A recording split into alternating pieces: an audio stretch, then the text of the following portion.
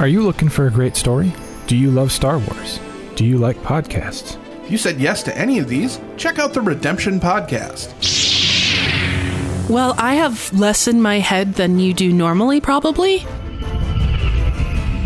You haven't met the crew I'm with. Pretty much everywhere we go, our life is in danger. Things didn't explode. That's pretty sneaky for us. That sounds horrible. Yes, please finish up whatever underhanded thing you're doing on the computer terminals at the Jedi Temple. Check out Redemption Podcast at www.redemptionpodcast.com. This is Tabletop Babble. I'm James Introcaso.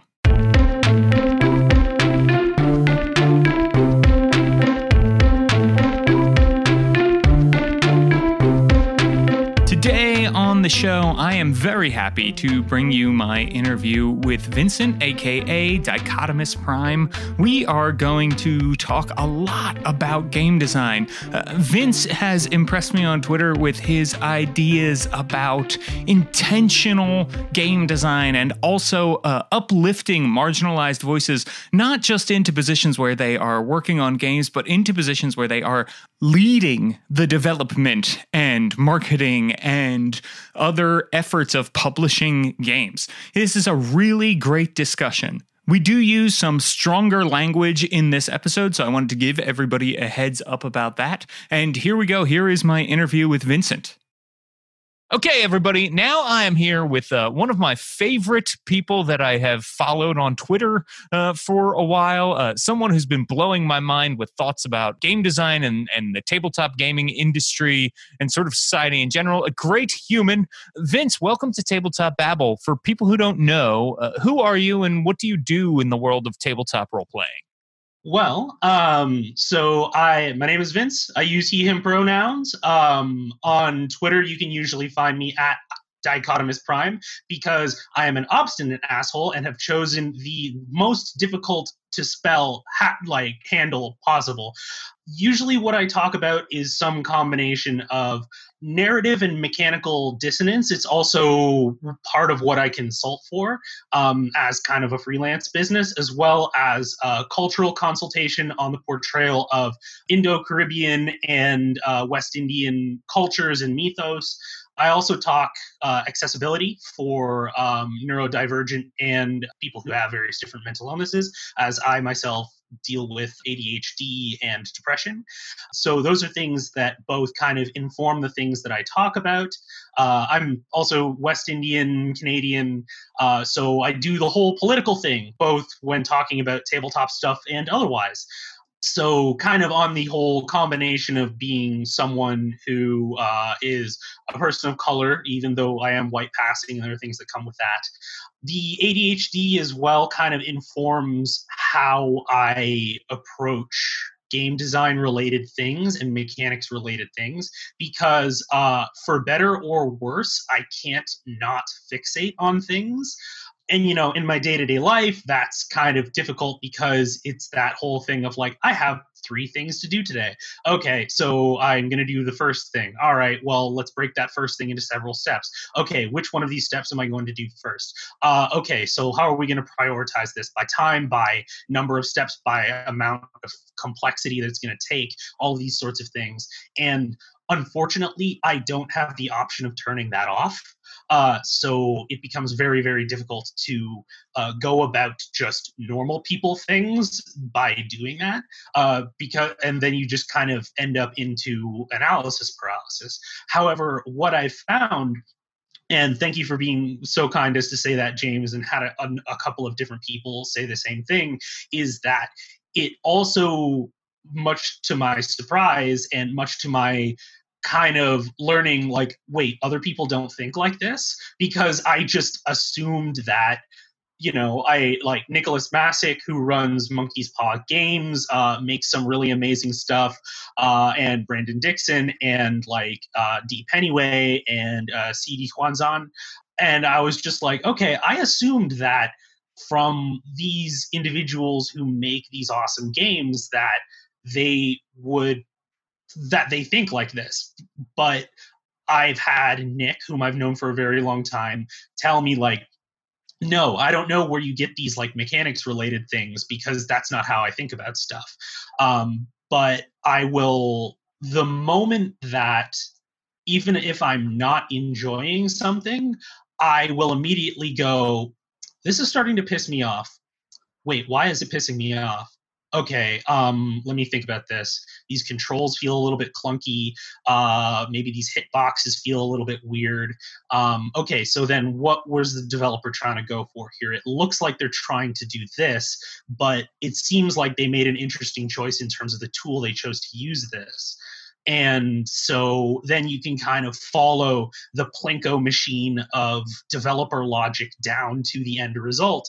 And whether or not it's successful or not, I can at least couch it in that process so that like it's very rare that I will go on an extended rant about something that I think is complete and utter garbage because I will just not be spending time with that but if I start to dissect something and go, okay, I'm I like this, but this seems like an odd choice, then it very rarely doesn't come from a place of love or at least appreciation because I know that making games is hard, making movies is hard, making TV is hard. So, at what point in the industrial complex of narrative and mechanical design did something get caught in the works that caused some kind of distortion whether it was uh, an organizational kind of glitch in terms of was it a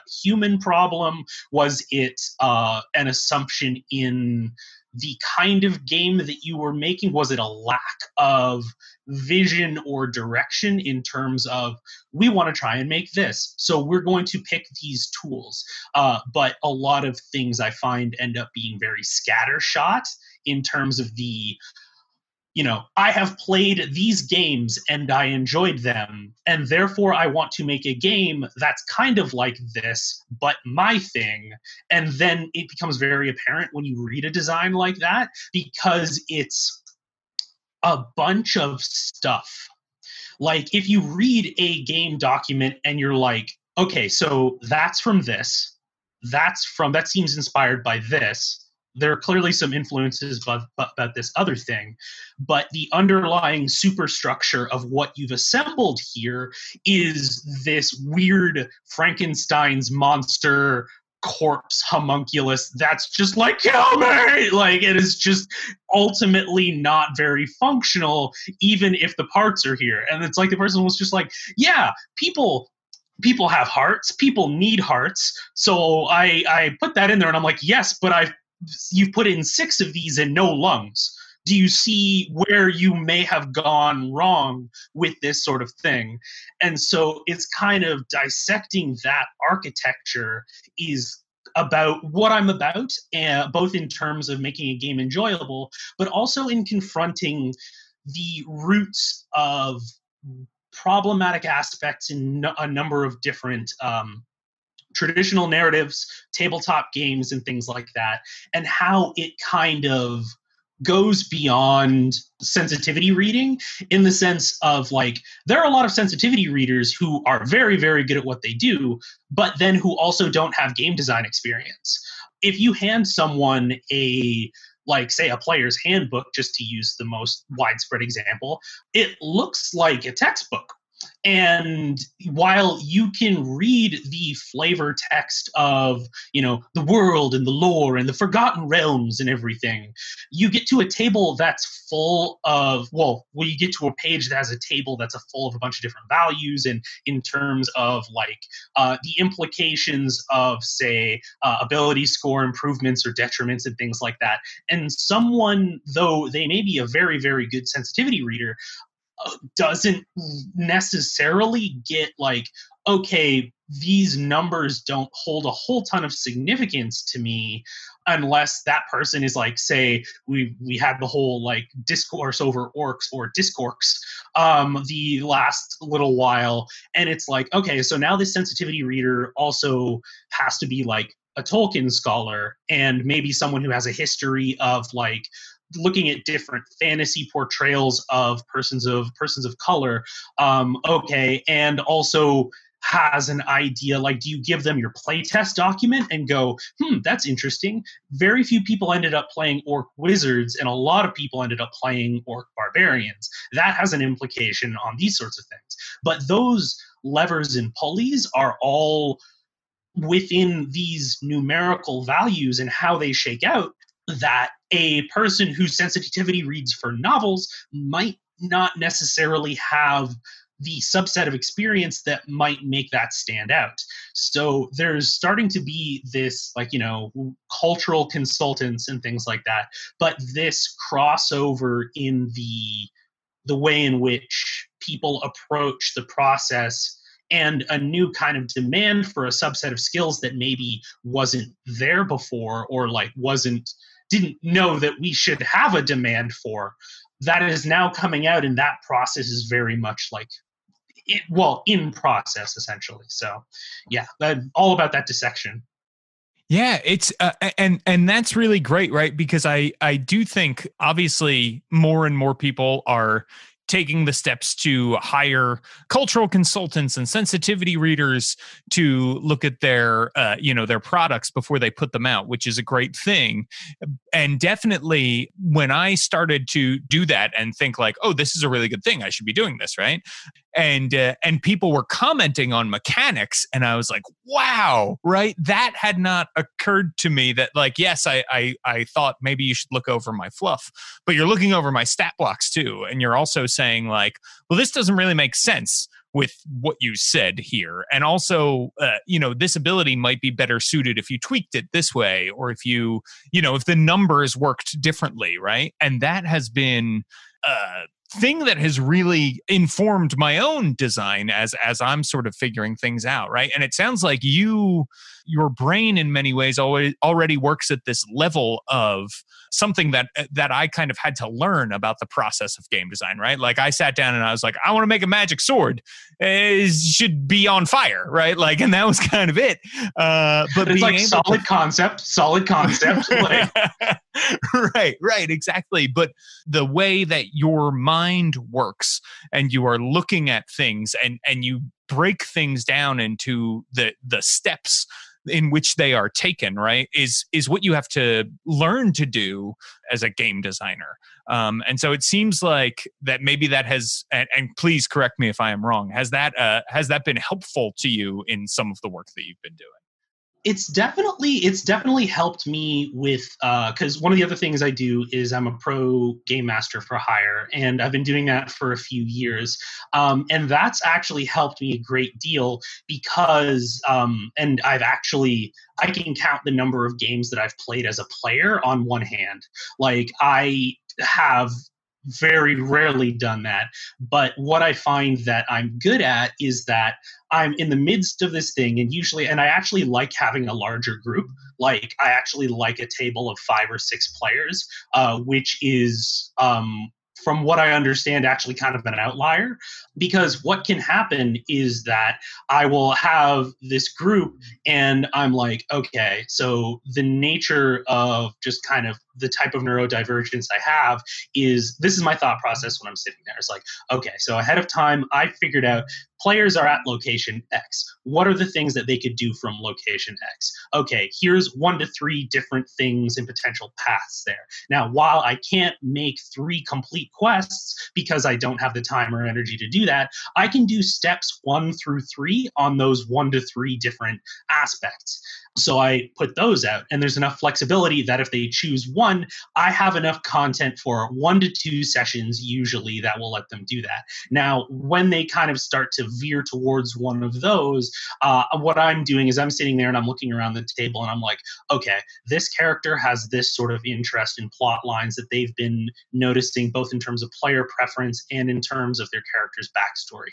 They have this relationship with this other character. Okay, so we have that. These folks seem these trio at the back seem to be generally okay with the whole okay tell us what to do. Let's go to the place. Let's fight the monster. Let's get the thing that we need to do. So they're pretty okay. I need to make sure that i have something for them to do so that they're not sitting there waiting for the the battle to happen. They're not going when do we get to the fireworks factory?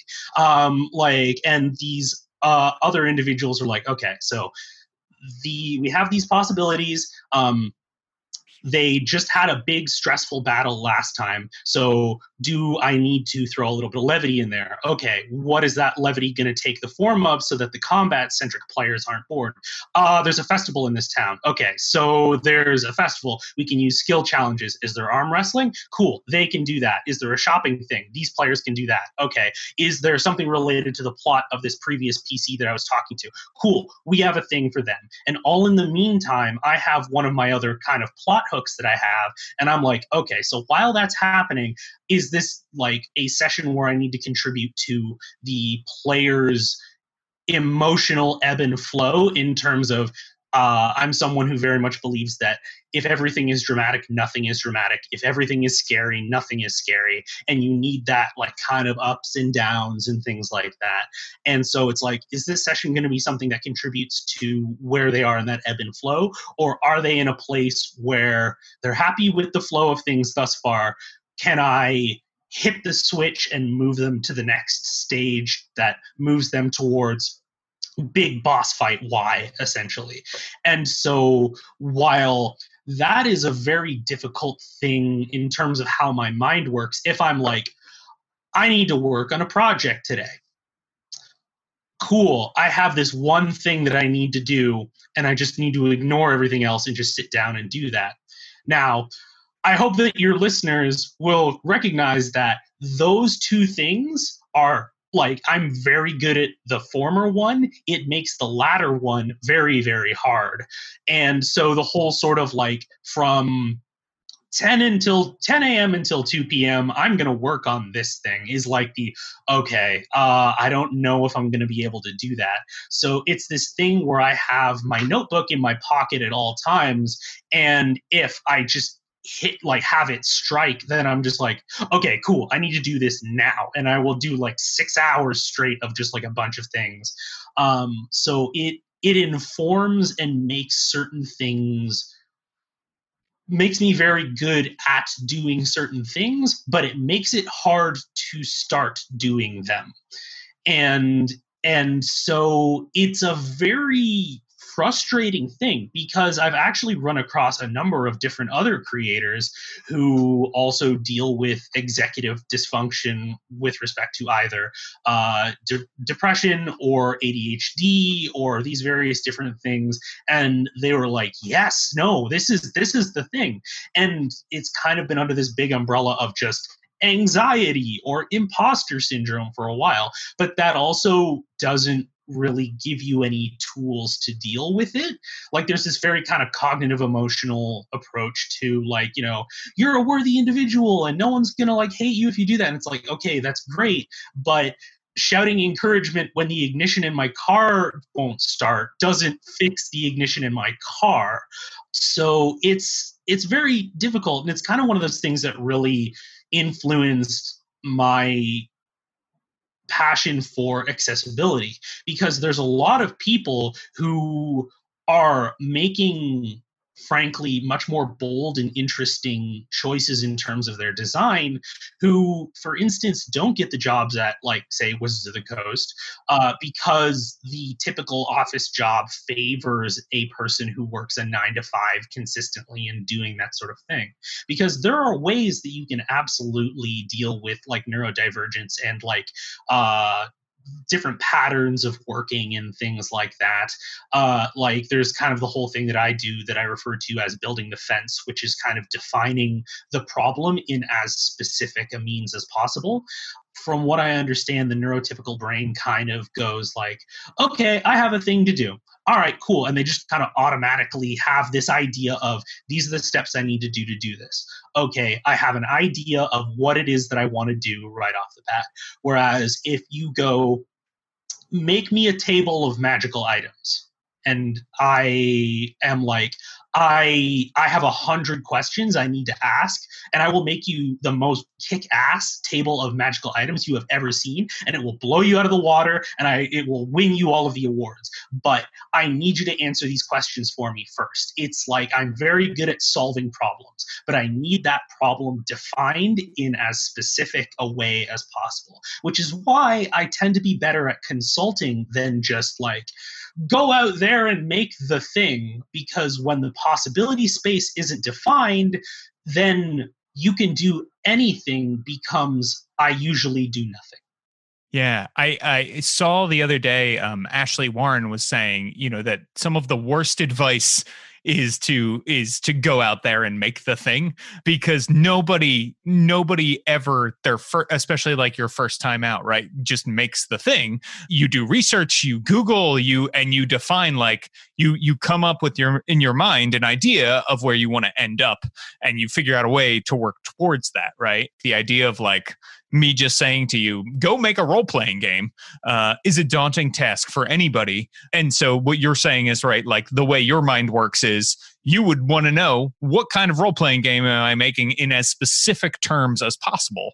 And then you would be able to sort of make that happen once you had all of your requirements down, right? Mm-hmm. Which I think kind of comes back to uh, a topic that I kind of bullet pointed when we were talking uh, via DMs on Twitter, which was designing with intent.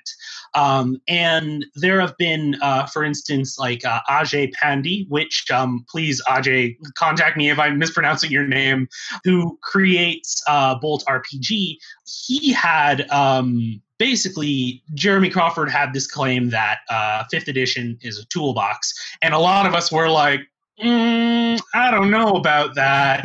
and Aj kind of broke it down to be like 5e has a lot of holes and it capitalizes very successfully on the it's not a bug, it's a feature sort of uh, mentality in in the sense of like there are these different things that you can kind of fill in these spaces for and there's an entire cottage in- industry of people who have done that.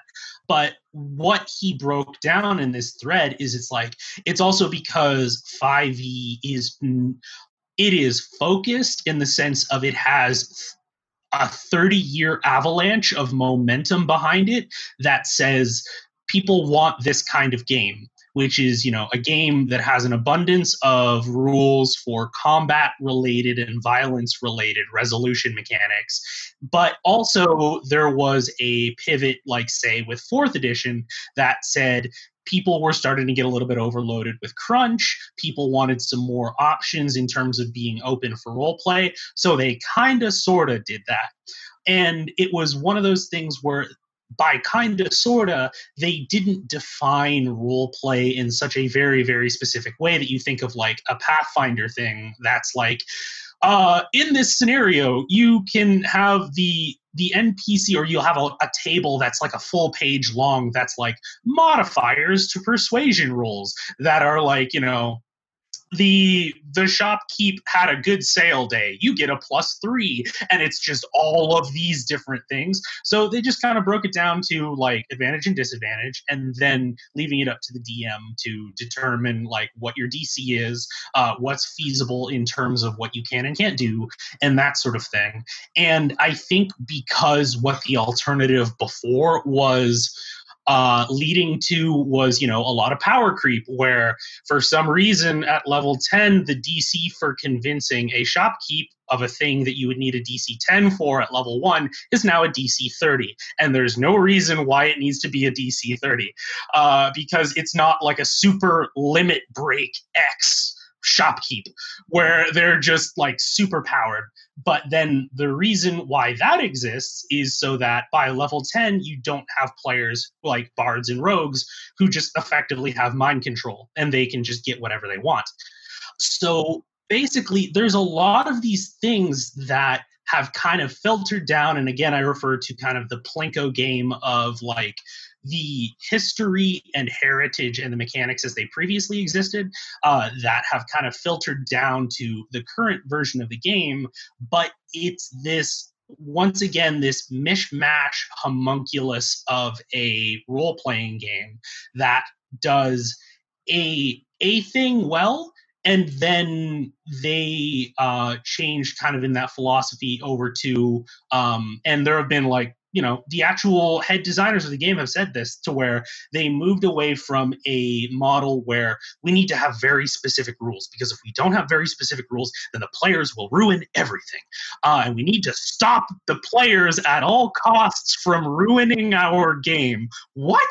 Um, and they put a lot more on that of the onus of the dm which i think is a double edged sword. I think it was overall a good decision, but what didn't happen was that they didn't give they didn't replace all of those modifiers and tools with the appropriate tools on the DM side to judge those things. For for instance, uh, we are talking about persuasion checks, for instance, um, and how uh, are you are you have you read through any of like the Forged in the Dark games uh, at all? Yes. Yeah. Okay. Yeah. Yeah. I love those games. Yeah, and so we're going to take the example of Sway, uh, which is kind of one of the so for I'm just saying for those folks who might not be familiar with it, is kind of one of the the the social mechanics there. But specifically in terms of the definition of what sway is, it says there under it, you cannot sway someone who does not have a reason to listen to you. Now, that just seems like a throwaway sentence, like, yeah, cool, that makes sense. But I see that in terms of a game term, in going, that says to the GM, these are the circumstances under which a player can sway. These are the ones in which they cannot. And you might be able to use command or you might use a piece of information you have about a hostile NPC that like can help you make that turn that into a a sway roll, but you contrast that with say um, uh, I'll take, for example, uh, Dimension 20's campaign Escape from the Bloodkeep, where uh, Ify Nwadiwe's uh, rogue, uh, Marcus, had a plus 14 to persuasion. The most extensive tool that you are given as a DM in terms of making a roll harder is just a basic idea. Like there's one table of difficulty classes and then disadvantage a rogue with a plus 14 to persuasion says your disadvantage. Oh, reliable talent. Okay, cool. so the only real thing that you have is your DM judgment call, which luckily Brennan Lee Mulligan is an amazing DM and is very good at like going, okay, so at the final battle, the the orc commander is gonna go like, don't listen to him, attack him before he gets to talk, and like all this sort of stuff. and that was kind of him in a very fun way, being like, okay, okay, I think I'm I think we're done. I think we're done. It's fighting time. But um if you have a DM who hasn't been DMing for 20 or 30 years, who is coming into this with a player who is ostensibly playing the rogue in the way that the player is supposed to play the rogue, which is the rogue is better than anyone else at being a, a skill monkey, and they're playing it the way that they're supposed to play it, but you have to GM fiat your way out of these situations, then I feel like that speaks to a lack of definition of like, well, you know, ask your DM. Cool. Well, your DM can be a lot of different people. It can be someone very experienced. It can be someone very new. Uh, the table can be very different. And I think that what's maybe lacking is the tools beyond just going, you get final say. You're the god of this world. It's like, once again, shouting encouragement at me when the ignition switch in my car doesn't work doesn't help me fix the problem. I need these tools. So I think that that kind of lack of focus and this very kind of archaic Garga- Gygaxian Gargax. Okay, cool. I have a name for a new NPC enemy now. I'm going to write that down. Um, yeah. Gargax. Yeah, take that for any of your demon campaigns, James. That one's for free. you can have that one. Um, but it is the reason why we don't have those tools, or one of many, is that there is this very archaic Gygaxian idea of the the values of the DM, uh, their confidence in terms of knowing when to fiat something and when not to, just never really got challenged and in the same way that the need for safety tools never got challenged. Uh, and there is not a Wizards of the Coast published book that is on safety tools. There's a Monte Cook Games one, there's a bunch of other blogs and things on it. Not a single thing. If you want to look through like the DM's guide, is like, okay, well, you want to make sure the game is fun. Cool. Operationally define fun for me. yeah you know i think you're you're you're absolutely right right? And and this is a thing i see all the time.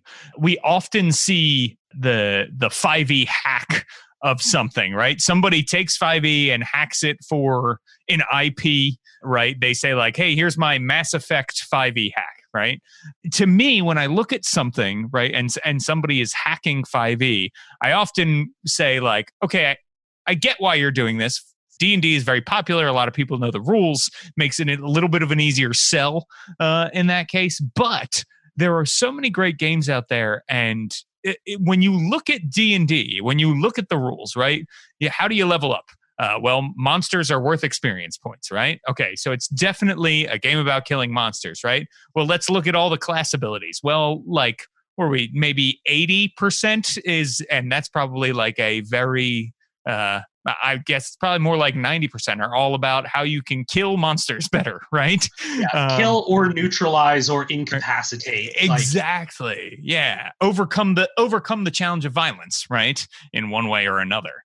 Or even the ones that aren't violence are with they are defined by avoiding violence. Right. Yes. Yeah that's so perfect. even if you have an ability that allows you to get past something without hurting it the nature by which you have to define that ability is already defined by the design space that is dominated by combat. So ultimately it's heads i win tails you lose uh, and that default shapes that whole thing which is kind of why i think that uh, with the whole thing is like you know there's a whole 6e game jam going on in like itch.io right now uh, which is and i feel that this might be a controversial statement but i don't think that jeremy crawford and chris perkins and sure as not Mike Mearls, uh, are the people to fix D&D for 6th edition.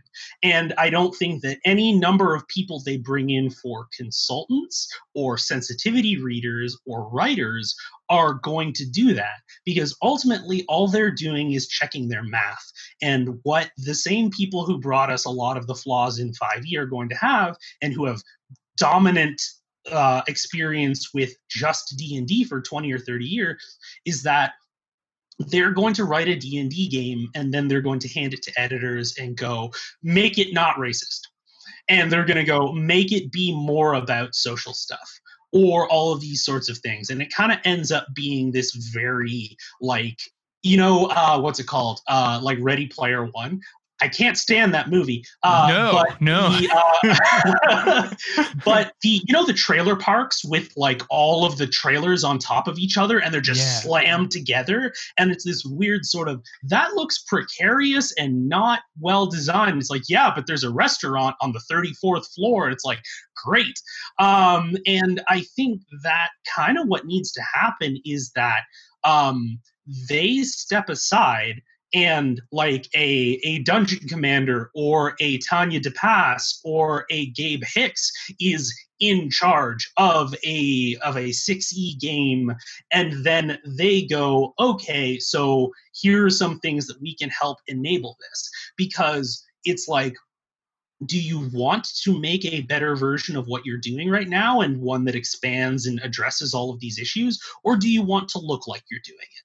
Because as a lot of uh, and i'm sure that leona maple and kiana s and a lot of other people who do sensitivity reading can attest to this is that the problem with it is that they don't actually have to use or listen to anything that you tell them.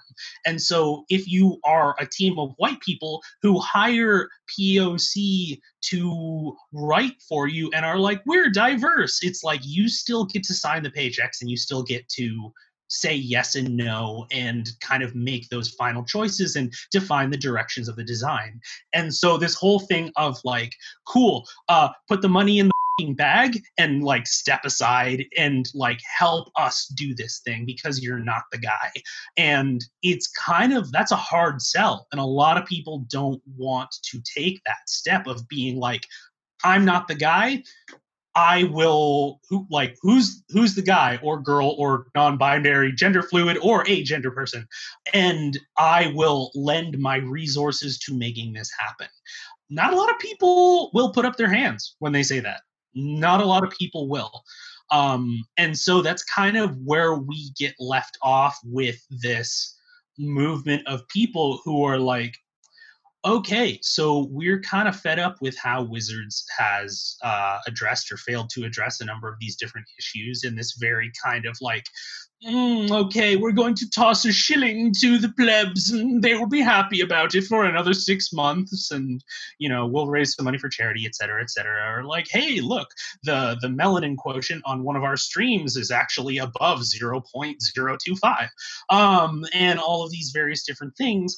And a lot of people are just kind of going like, no one is going to like you know the president of tabletop games and sending in the people to to help from up high. So if change has got to come it's got to come from someone else.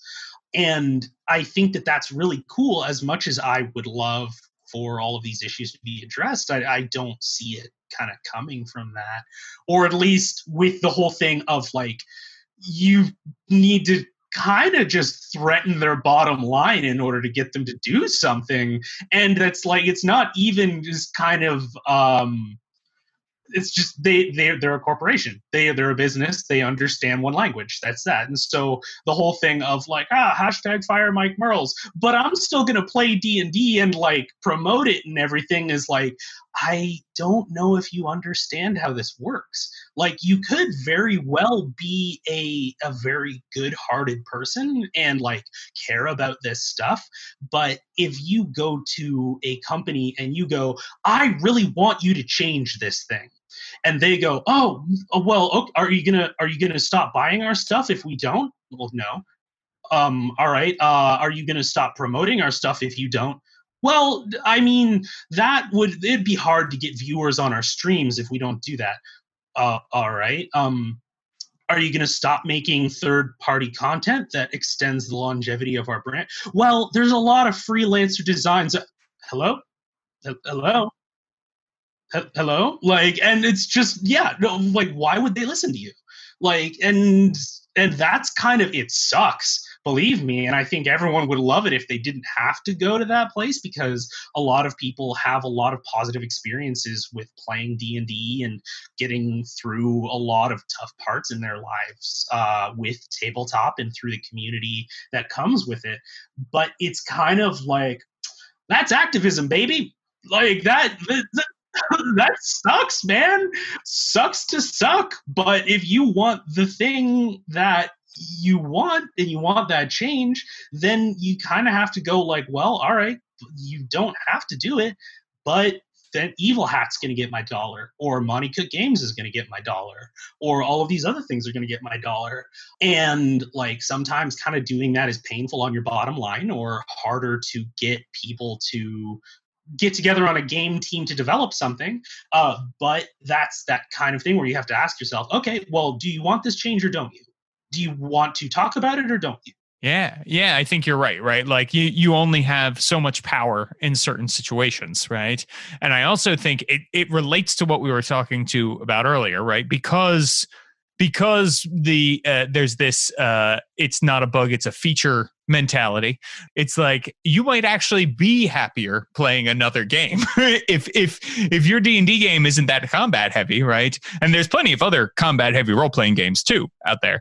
Um, but if your d&d game isn't that combat heavy it's uh, it's not a bad idea to maybe check out something and see is there something that is right for you? And i also i really love the idea of of of switching right? Essentially we're talking about like instead of people who are on the design team right now at wizards of the coast making sixth edition whenever that may happen. The idea that they would set hire a new team and say we are now the consultants who will perhaps weigh in occasionally but you don't have to listen to us and you have the final say i think is really an interesting idea. Or to even just fully get out of the way without even consulting at all right? And it's interesting because fifth edition you've described it as this like homunculus um, and part of that is that it was like the you the addition to unite all fans right? And and we've got to get something in there and it's got to be d&d because of that right when you go through the monster manual there's no monster that hasn't appeared in a previous edition. There's no uh like like it's got some new new mechanical ideas right and and that kind of thing. But i do think like now that there's all of these people who started playing role playing games with fifth edition or in the era of fifth edition. I think sixth edition is really a chance to, if they have some sort of plan that is uh, like what you're saying, right? With totally new blood, you know, marginalized voices who are in the position to actually call shots and not just hired as freelancers, you might get some amazing things, right? Because when I see what people are doing with no dollars. the amazing games, right? yeah, with no money. Yeah, uh, exactly. like I can't imagine if you had the backing of Hasbro, the success of fifth edition behind you, um, what what might be made, and and that really excites me, and it excites me because like I want to see what someone else is going to do with uh with sixth edition, right? I feel like we know what the fifth edition team would make. They made fifth edition, right? like, hey everyone, we're gonna take a quick break and then back to the babble. Hey, it's Mike Shea of Sly Flourish and author of The Lazy Dungeon Master and Sly Flourish's Fantastic Locations. My show, The DM's Deep Dive on the Don't Split the Podcast Network, features a one-on-one discussion with guests like Shawn Merwin, Enrique Bertran, Teos Abadia, and more. Once a month, we dive deep into a single D&D topic and answer your burning DM questions. Watch us live on Twitch, on YouTube, or on our podcast on the Don't Split the Podcast Network. Let's dive deep.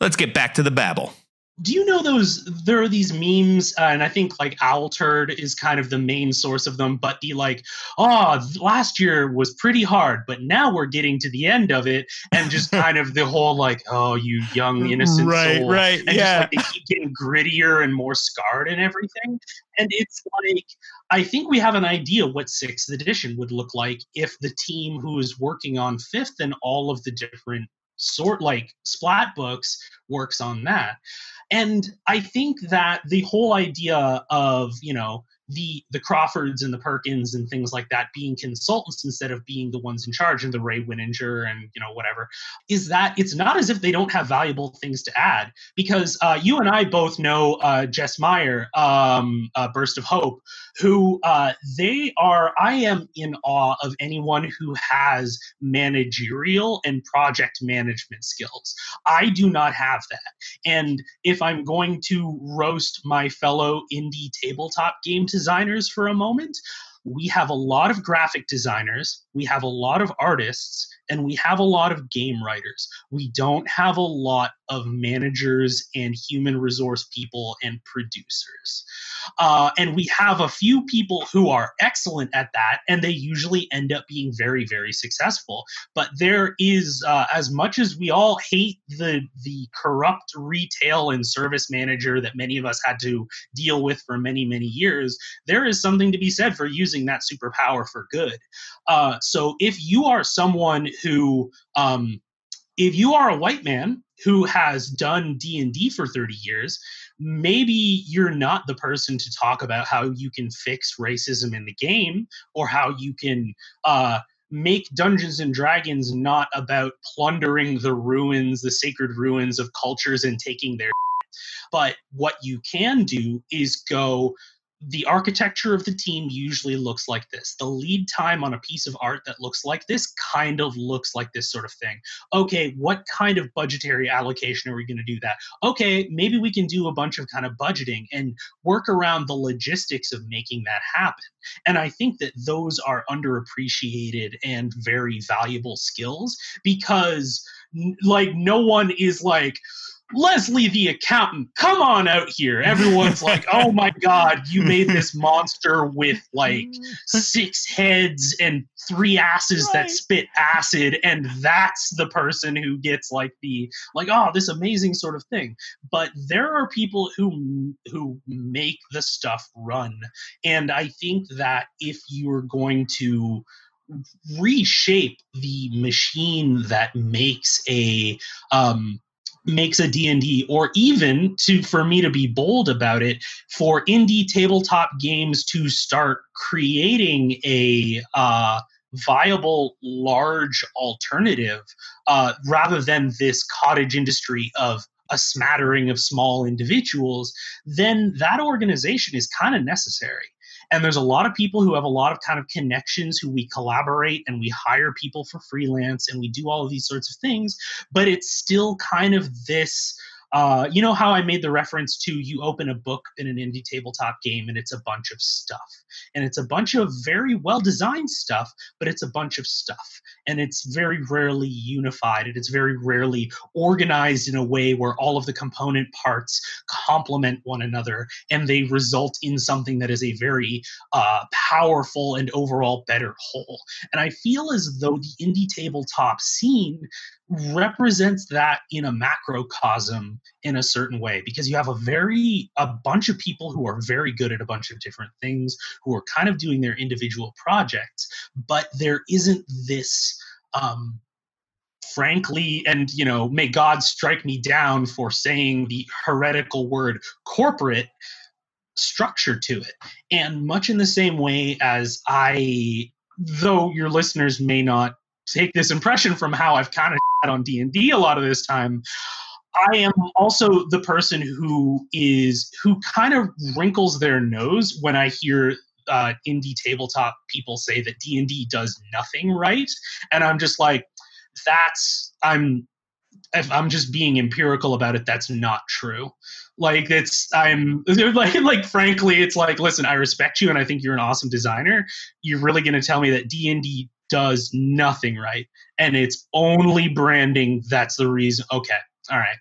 Um, and there is something even if you don't want to do d&d and you want to do something different there is something that you can scavenge from that junkyard uh, and much in the same way as no one wants to be the corporation that uh, puts profit over harboring a long term sexual abuser, for instance. Uh, no one wants to do that. That doesn't mean that you automatically have to go, you know, no gods, no masters, we design like men, and like, you know, all of these sorts of things, and just completely abandon that structure because these these things and this organization has like led to dividends. And you don't always have to look exactly like that, but Evil Hat does it differently, and Monte Cook Games does it differently, and things like that. And I think that from the abundance of very skilled and capable designers if we could have people who were like, okay, you go there and do this, you go there and do this, we need this done by this time, this is our timetable. And if we could kind of, and people would be like, oh, oh shit, okay, I got to get to drawing. Uh, because, like, you know, the in a creative industry, the non creative people kind of get short shrift. But they are needed and necessary. And I think that there is something to be learned from that. Yeah, totally, totally. And I think uh, having a, a, position like a producer, right, who is uh, managing everything and managing all your creative people to uh, to make sure that they're on the job and and hitting their deadlines and uh, taking care of their needs when you know uh, somebody gets sick or somebody has a baby or any any number of things that can come up is a great thing. And I I would love to see like many many different games uh, be able to uh, to rival and challenge D and D because I think it's good it would be good for d&d right? Like it would it would probably change the face of d&d in a good way and and improve that. And it would also be great for the tabletop gaming world one of our our fears, right, from learning more games comes from the fact that D and D has these three giant textbooks, and it's like, well, not every game is a giant textbook. Some are, some are, you know, and and that's fun too. Uh, I love giant textbook games, but it's also, you know, you can you can easily pick up uh, anything from a one pager to uh, you know the Pathfinder two core rulebook to in between uh, to the the black cube of Invisible Sun. So there's a, a lot of different things out there. Vince, this is awesome. Like, I really, really appreciate you uh, coming on and, and chatting with me. You are, uh, as always, on Twitter and on this podcast, blowing my mind. Well, thank you very much. I, I actually wanted to ask you, and like, there's been this voice in my head, in in, in the back of my head, that's like mid rant. That's like, remember, just ask ask him what his thoughts are on these sorts of things, and I'm like, oh, shut up, you. I'm talking, like, you know, all these sorts of things. But um so and and i don't say this in terms of like trying to fish for a compliment but is there something like what was it about something that i posted that you thought was mind blowing because i like i said i've got this very kind of maybe self-centered idea of like okay, I'm just kind of in my thing, and I'm glad you appreciate it and that sort of thing. And that kind of comes from a year, uh, like years and years of being able to learn to accept compliments at all, which is, you know, you're being very kind. I appreciate it, that sort of thing. But at the same time, I just kind of go like, okay, all right, thank you.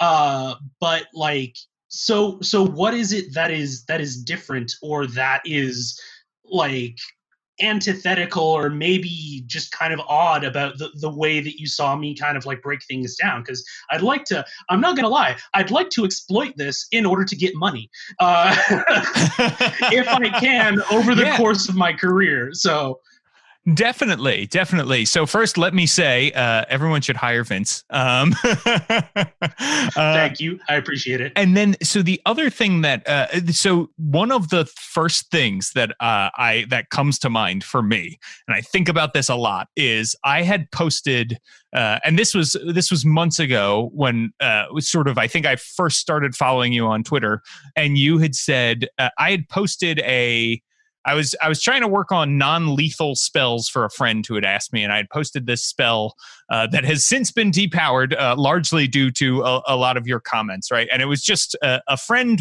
wanted a pacifist ranged spell, right? He wanted to be able to cast a spell that was that wouldn't burn his enemies to death like a cantrip. so I made this spell called Bigby's Baby Hand, and you were like, "This baby hand is very powerful," and I was like, "Well, you know, like," and, and I remember I said like, "This was kind of my reasoning, and this is what I was thinking," and you were like, "Well, you know." I'm not sure exactly what your design intent is. If you want to play a cartoonish game and like there's you had said like there's merit to that, right? Like it, it, maybe you want to play a game where you have this ridiculously good cartoonish uh, cantrip, and that's okay. And but like it was clearly sincere, right? You weren't mocking me, uh, and I was like, oh wow this is so true that maybe you do want to play a like right and that's when and i and i think about intentional design a lot in in what i am doing right um because i think that's the really the the only way to to design is to think about like what do i want this game to accomplish? What do i want players in this game to do? What do i want the the game master to be doing right? Like what what is the game about? And i th- like i was like wow this is great. And we had a, like a good back and forth but you were also having a back and forth with people in the comments about things. So i thought that was really uh really great. And then the other thing that i am thinking about like specifically is this morning where there was a thread uh, that you had with I think it was Nick, right? Uh, Nick Butler, yeah, yeah, yeah. The creator of Tidebreaker RPG, who people should absolutely go check out Smunchy Games and Tidebreaker RPG and check that out. Yes, absolutely. So this this great thread um, about level design, but also about like, and, and you had mentioned this earlier in the podcast about how the way you run games and the different choices that you see players having and the, the way you go from there. And then also like how you design boss battles and that you put a lot of work into your boss battles which i think is great um, because when we think about we want boss battles to be special, right? Um, we want video game boss battles. We want the showdown and a climax in a comic book or a movie or a novel. We always want to be special, right? And so thinking about that kind of different thing. And I would say, uh, I've seen a lot of different things like that from you that make me think about like, oh, I do this, but I I didn't realize like I never put it into words, right? As a designer, or I don't do this and I should, or these are things that I think about all the time and I really agree. Uh, so uh, so that's great. But then the other side of it is like you are one of the first people to say, and I follow a bunch of different people on Twitter, like, not only do we need to hire marginalized voices, right? Great, good, yes, absolutely. But we need to put them in these decision making positions. And that was one of the first times in my brain I was like, oh, yeah, like we do a lot of lip service and we do a lot of freelance hiring, right? As, as, a, as a white guy, right? I, I can tell you that many many companies are are hiring now people of color black people uh, indigenous people uh, people from the lgbtq community all kinds of uh, people who are not cis straight white dudes but they're not putting them in any decision making capacity. They're not art directors. They're not uh, the lead designers on products right? They're not and and like that was like wow. So not only about game design but also about the way we should be approaching game design teams and changing things um, and hopefully is is going to uh, to up my own game. So really i should i should pay you is kind of what it comes down to. Um, so if you ever have a project i would absolutely like if this if this podcast and the exchanges we've had on Twitter have been any kind of notion, I think we both have a a similar kind of design philosophy, which is like you start with what's the emotion, and then you go, okay, here's my toolbox how do i make that happen? Or because you know you can't control how people are going to feel and you want to allow that freedom and that wiggle room you at least go okay so there are these tropes in these things that succeeded at doing this. So how can i best recreate this and translate this into a medium that we are that we're working within? Um, and i think that that kind of in kind of tying it all into game design is the fact like you know you keep getting samey stuff because you keep having samey people making the samey decisions. So when put different people in charge it's not like you know you you grab a black person off the street who's done some art and you poke them and they're like make it, make it good. And it's like that's not how it works at all. Like, right uh, right. there's this very sort of like uh i need to i've been accused of racism. Come to me my minorities. Come to my defense. Like, right. like like someone had a very poor thing turn out for them who were just like d&d isn't colonial. Everybody come out and like right. and it was just like oh this is not going to go how you think it is. No it is not uh, it is not. So, and I, I think that that um in terms of designing with intent and kind of um on on those threads and that sort of thing is that you can try to make a game for everyone and like you know d&d 5e did that uh and like we abundance of problems i won't belabor the point in terms of that and kind of holes in different things or you can go there's a very specific thing that i want to try and do and this is going to enable GMs or players or whoever in order to do that.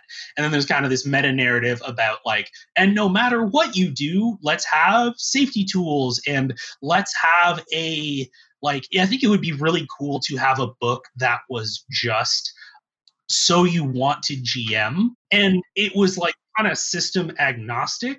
If you look at the progression of uh, we talked about how in 3.5 who where the philosophy was we have to stop the players at all costs and going like okay how about and we moved to 4e and 5e and going okay well how about if we trust that the players have positive intent on the whole and we put the responsibility and trust that the gms are going to be capable of doing that good philosophy didn't really give them the tools to think about it. And so we get things like our RPG horror stories, where you get a lot of tales about very power hungry GMs.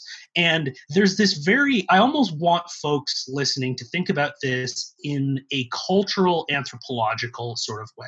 As if you think about the like historical forensics or archaeology as you try and construct a narrative of how cultures evolved and where the emphasis changes depending on what era of history you're at. Um, in looking at this as a pattern is first we had stop the players at all costs. We have four and five E of the players are well meaning. They might occasionally do something that's like, eh, and so we're going to trust the GMs to do this and that they have the measure for. They didn't really give them a whole lot of the tools, and we got these reactions of a lot of these negative horror stories about power hungry GMs. So now you get a lot of these indie tabletop reactions of going um, GM-less games. Do we even need to have a GM? Are GMs players? Uh, which you know, take a shot because that happens every three weeks or so. That topic comes up. Uh, but uh, and then you also have things like Forged in the Dark, which I have, which are very interesting because they villains don't have stat blocks and villains aren't monsters. And the gm actually doesn't almost roll dice at all. And it's kind of i see very in the the theme of questioning the implicit assumptions inherent in the way we design things is going all right, so what was the point of this? And there's whole like, you know, well, the GM had all of this power and they would put like OP monsters and they would make them able to do all of this sorts of damage. So what we're going to do is we're going to give players an inherent safety tool in the rules in the term of resisting harm. And then we are going to just basically say to the GM, uh, the villains are events that happen to the players and the players get to determine how to deflect or redirect the narrative narrative in terms of that way. And I think that that is a very interesting intent.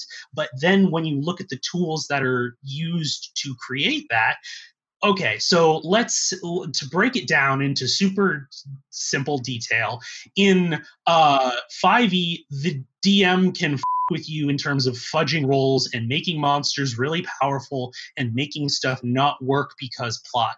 So Forged responds to that by going, okay, we're not going to have that lever there to make it satisfying and get GMs overly invested in their NPCs because that's your character, that's your baby. You don't want your big monster to go down in two turns. And GMs start getting butthurt and defensive and they go, ah, oh, your thing that neutralizes all my stuff doesn't work. Okay, so we're going to remove that temptation by doing this. The consequence potentially of doing that is now tra- translating from I roll to f- with you and I can fudge the dice or modifiers to do that to I f- with you, roll to resist me f- with you. And while the intent is to go, all right, let's remove this lever and this incentive for a GM to act in this way, the ultimate result is that you have almost stratified the power dynamic in a different way, which is that, okay, the dice, the GM doesn't roll dice. Okay, but that means that the GM can fiat being able to just say, uh, the assassin stabs you and you take level four harm and die would you like to resist? And it's kind of this. I almost encourage designers and writers right now to be historians. And as much as I am very much on the, as being someone with executive dysfunction, I, it is very difficult for me to start learning games and takes me a very long time to do it. As you've seen, I've written a thread on it before. I encourage you to look at it from a historical, longitudinal perspective in going, because all of this stuff doesn't exist in a vacuum. All of this stuff exists as reactions to experiences about what came before. Um, and just be like okay i had this bad experience. How do i curate my experience so that it's better? I started gming for that reason. I believe matt mercer actually started gming for the exact same reason. Uh, a lot of people started designing their own game because they were unhappy with what was being offered then. Um, and so all of these like you know, once again to belabor the Plinko game of history analogy, uh, the you have these little like bits and bobs and obstacles that the tabletop space bounces off of as we move down through history. And all of these various different things are responses and replies and uh, exchanges in the overall discourse of what our design looks like. And I think that that's relevant for learning from mistakes in the past, but it's also relevant in terms of how we inform things going forward for the future. And I think that in the same way that you would get a degree in anything, uh, learning what came before and what you have at your disposal uh, will only make you a better designer and a better GM and just able to further enable positive experiences at your table and within the space as a whole. Yeah, I mean, I, I can't disagree with that. I think that's great advice, right? We're sort of uh, winding down here, Vince, but uh, as we're wind it down, is there any sort of final thoughts you have that you you want to leave people with? I do think, and this is something not design related, but more related to the tabletop space in general, which is that I, and this may be a character flaw, I'll leave it up to the listeners to decide. I have kind of an inherent distrust of positivity. And the reason for that is that I have found positive folks to often maybe be less observant of what is going on around them.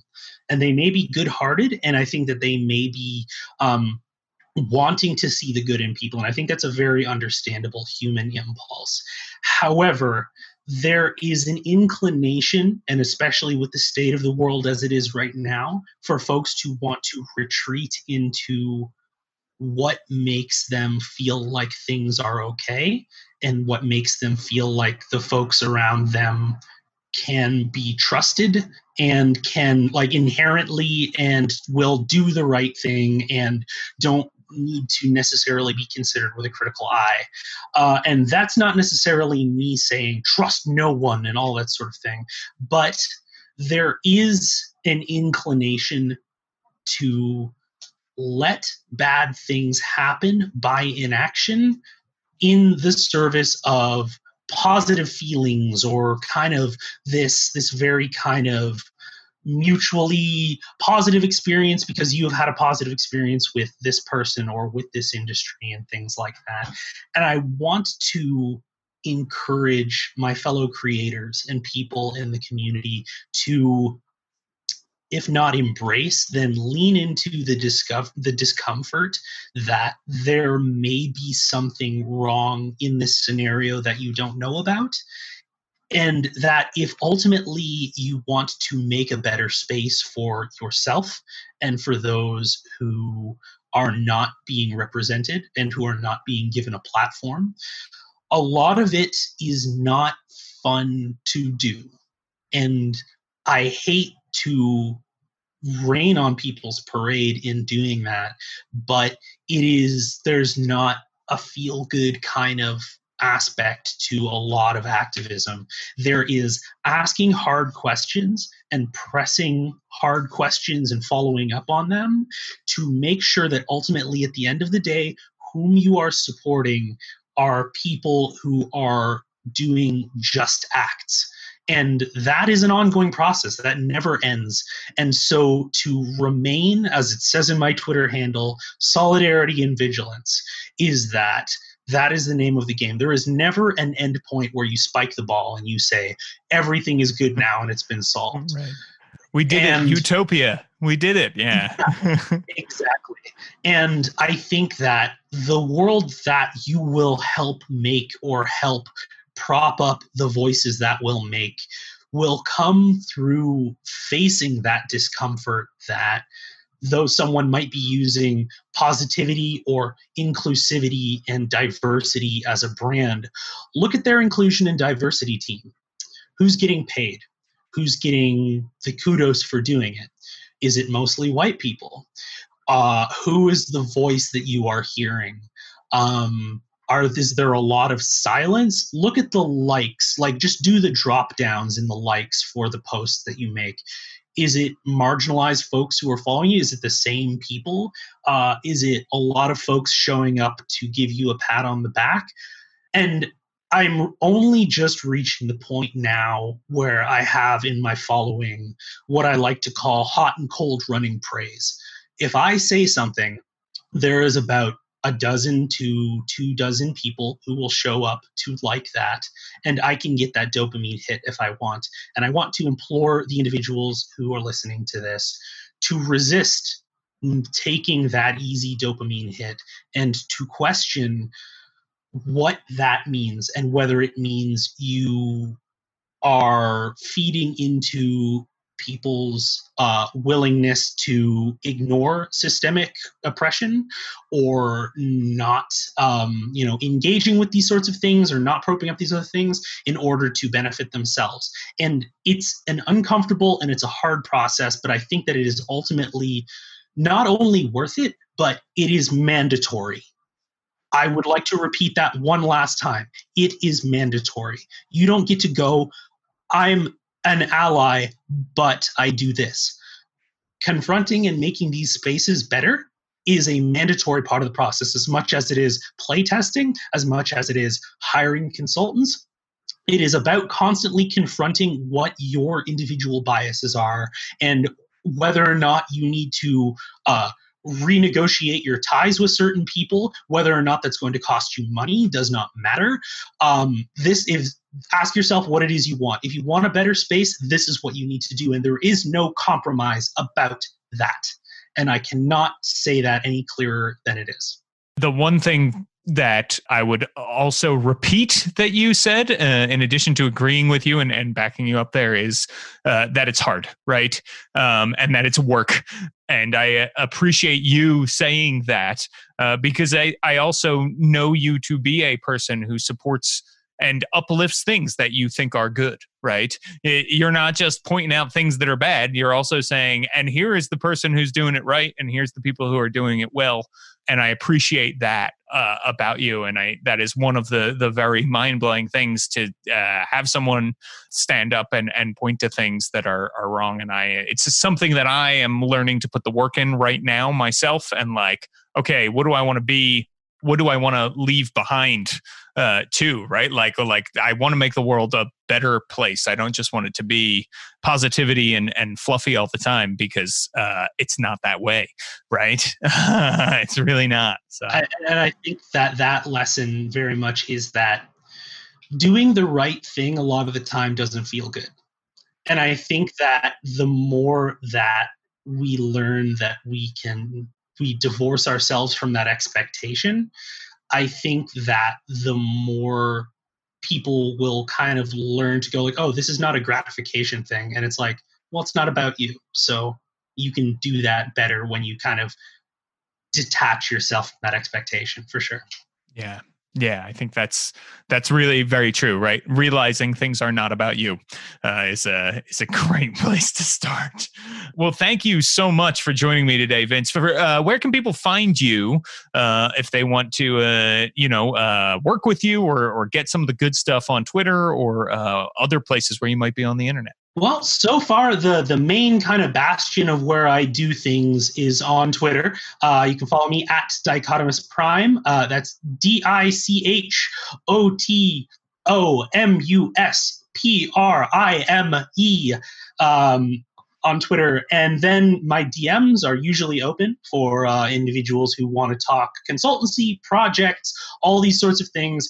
As uh, anyone can tell you, I'm usually down for like a 12 post rant about like you know a thing that I love uh, that hopefully. Uh, we will get to a space where I can spend more time talking about that than the screaming hellscape outside of my window. So I I think one of my favorite things that I see you tweet is okay, and now this is a post to myself to so I remember to get off this hell site. Um, so and I'm like, this is a good reminder for me to get off this hell site. Yeah, because you will doom scroll and it will like suck your soul like the portrait of Dorian Gray if you let it. And it's just like, okay, I'm I'm helping. And it's like, are you or are you sucking yourself into a husk that can help no one? Go outside. like Absolutely. Absolutely. Yes. Go outside, play some Monster Hunter, have a good time. Um, so, yes. Yeah. Well, thank you so much for joining me. Uh, and uh, I hope that we get to, to chat some more and work on something cool together. That'd be great. Absolutely. Would love to hear it. Everybody, thank you so, so much for listening. I really, really appreciate it.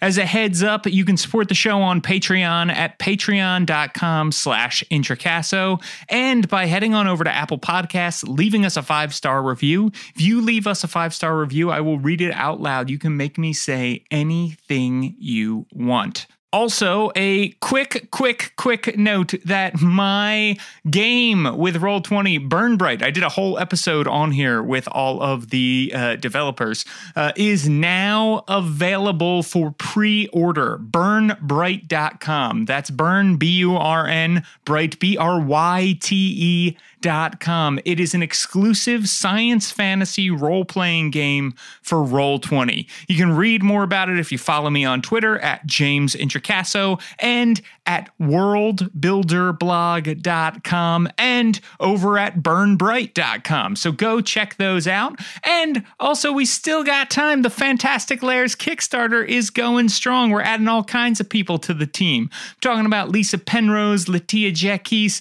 Jen Vaughn, TK Johnson, Willie Abdil, Leon Barillaro. There are so many awesome people on this project. So go check it out fantasticlairs.com. 20 drop-in boss battles for your D&D 5e games.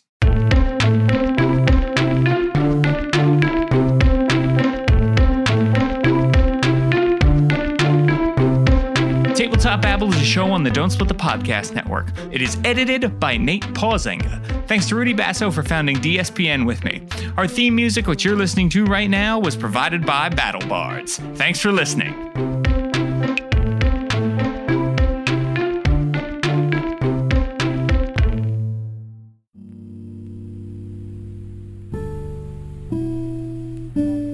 Gather round, travelers, to hear our tale. Venture Maidens is an actual play 5th edition podcast made by four longtime friends and lifetime gamers. We take our role playing as seriously as we keep our bulges tasteful. So if you're looking for an epic high fantasy tale spun by a killer cast, give us a shot. We publish new episodes every other week and live stream our game recordings on Twitch. Now get on out there and download Venture Maidens wherever podcasts are free. Hope to see you in the community, and don't forget to venture away.